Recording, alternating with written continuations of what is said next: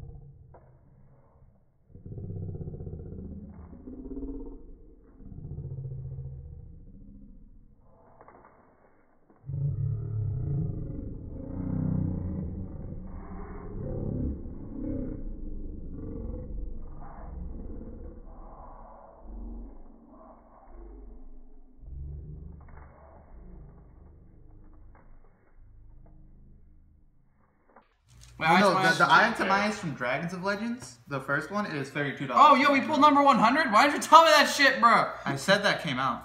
No, I'm saying Oh, he didn't tell me he I pulled it.